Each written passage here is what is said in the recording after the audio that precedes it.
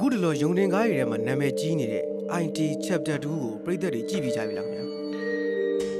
ဒီနေ့ရဆိုရင်ထိုရုပ်ရှင်ရဲ့ကြောရိုးဖြစ်တဲ့မူရင်းဝတ္ထုကိုရေးသားခဲ့တဲ့နာမည်ကျော်စာရေးဆရာကြီးစတီဗင်ကင်းရဲ့82နှစ်မြောက်မွေးနေ့လေးပါစတီဗင်ကင်းကို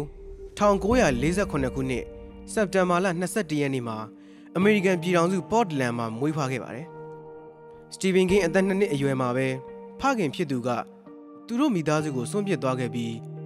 သူနဲ့သူ့ကိုဒေးဗစ်ကိုသူ့မိခင်တယောက်တည်းကသာပြုစုပျိုးထောင်ခဲ့တာပါသူတို့မိသားစုဟာဒီပီရီဝစ်ကွန်ဆင်ဖော့တ်ဝိန်းအင်ဒီယာနာစထရဖို့ကော်နတီကတ်စတဲ့နေရာတွေကိုပြောင်းရွှေ့နေထိုင်ခဲ့ပြီးကင်း17နှစ်အရွယ်ရောက်မှသာဒါဟမ်ကိုသူ့ရဲ့မိခင်ကမိဘများကိုပြုစုစောင့်ရှောက်ဖို့နေထိုင်ခဲ့ပါတယ်။သူမဟာ အသိဉာဏ်မဖွံ့ဖြိုးတဲ့သူတွေကိုပြုစုစောင့်ရှောက်ပေးသူအဖြစ်လုပ်ကင်ခဲ့ပါတယ်။ကင်းဟာဘာသာရေးလိုက်စားသူတယောက်မဟုတ်ပေမဲ့ဖျားသခင်ရှိနေတယ်လို့တော့ယုံကြည်ထားခဲ့ပါတယ်။ကင်းဟာကလေးဘဝတုန်းကသူ့တငယ်ချင်းတယောက်ယထာတိုင်းမိပြီးတည်သွားတာကိုမျက်မြင်တွေ့ခဲ့တယ်လို့သိတာထင်ရှားနေပေမဲ့လည်းအဲ့ဒီအဖြစ်အပျက်ကိုသူမေးလျော့နေခဲ့ပါတယ်။သူဟာ၎င်းတည်ဆုံးသွားတဲ့ကလေးနဲ့အတူကစားဖို့ထွက်ခွာသွားခဲ့ပြီး ပြန်လာတဲ့အချိန်မှာစကားတခုမှမပြောဘဲထိတ်လန့်နေတဲ့ပုံပေါက်နေတယ်လို့မိသားစုဝင်တွေကပြောကြပါတယ်။နောက်မှသာမိသားစုဝင်တွေက၎င်းတငယ်ချင်းဖြစ်သူတည်ဆုံးသွားပြီဆိုတာကိုသိကြရတာပါ။ကင်းရဲ့အချို့အလုပ်တွေဟာထို့အဖြစ်အပျက်ရဲ့တက်ရောက်မှုတွေ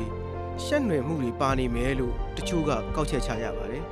။ဒါပေမဲ့သူ့ရဲ့ဖြတ်သန်းခဲ့တဲ့အတွေ့အကြုံတွေကိုရေးသားခဲ့တဲ့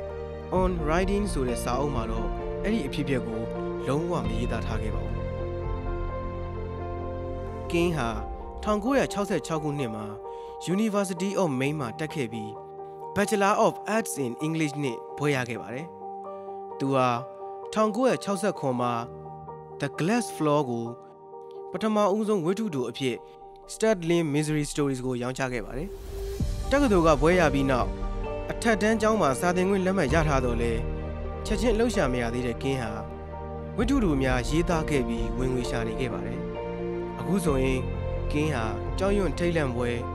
တဘာဝလွန်ဖြစ်ရဲ့ဝိထုတွေစိတ်ကူးရင်ဝိထုတွေရေးသားနေတဲ့အမေရိကန်စာရေးဆရာတယောက်အဖြစ်အခြေခိုင်စွာ နေရာယူထားပြီးဖြစ်ပါတယ်။သူ့ရဲ့စာအုပ်များဟာ350မီလီယံကျော်အထိရောင်းချထားခံခဲ့ရပြီးအများစုကိုရုပ်ရှင်ဇာတ်လမ်းအတူ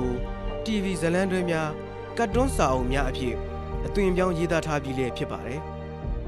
ဝိတုတို့200နီးပါးရေးသားခဲ့ပြီး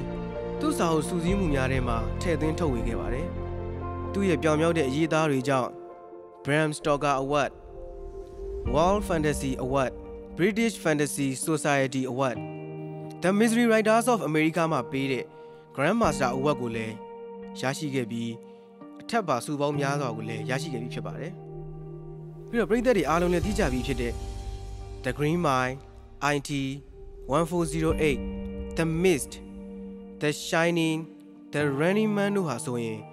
သူ့ရဲ့ဝိထုကြောရိုးတွေကိုအခြေခံပြီးနာမည်ရလာတဲ့ရုပ်ရှင်ကားကောင်းများဖြစ်ကြပါတယ်။ဒီထက်ကပြည်သက်ကြီးရောဘယ်ကားတွေကြည့်ပြီးကြပြီလဲ။နှစ်ပေါင်းများစွာကြောင်းအောင်အလွန်တရာရတမြောက်လာတဲ့ဝိထုပေါင်းများစွာကိုဖန်တီးခဲ့တဲ့